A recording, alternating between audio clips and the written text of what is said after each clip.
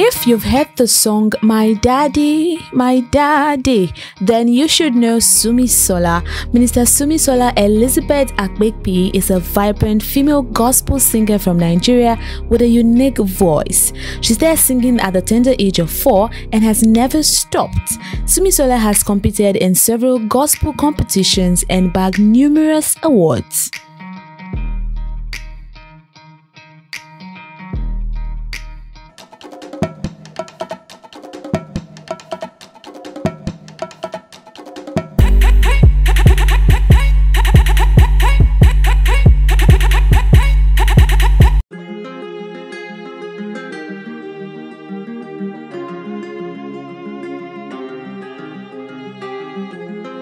In November 2020, she released her debut single Amazing, which has remained a blessing up until now. She has used her music to propagate the gospel through her melodious voice and gracious heart.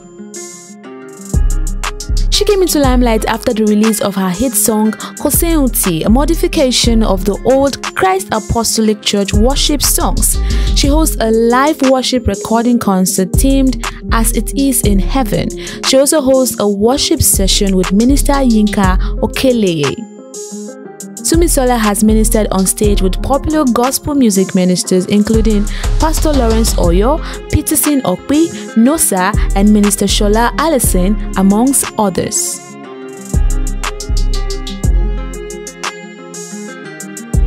Sunmisola has released quite a number of songs, including Amazing in the year 2020, Kosioti in 2022, Moments of Worship in 2022, My Daddy, My Daddy in 2022.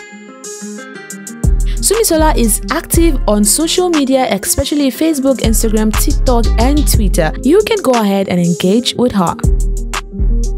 Let us know what you think we missed. Go ahead and comment in the comment section. We have exclusive videos in our video session.